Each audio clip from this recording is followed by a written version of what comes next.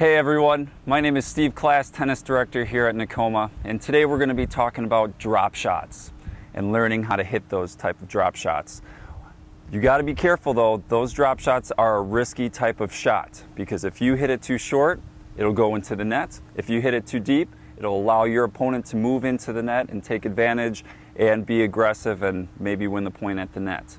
So first things first, how to hit a drop shot you're looking to use the continental grip, the same grip that you would use on your volleys, overheads, and especially on your slices. You're looking to put some underspin, some backspin on that ball to allow that ball to stop, shorten the court, not allowing them to get to that ball. A good indicator would be for that ball to bounce at least three times before it goes outside the service box and past the service line.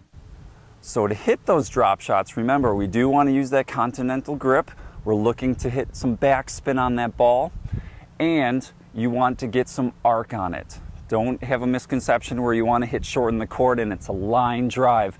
You want to get some arc so when hitting that ball, that ball should reach an apex about right here and then start falling before it actually goes over that net to have that ball land really short in that service box.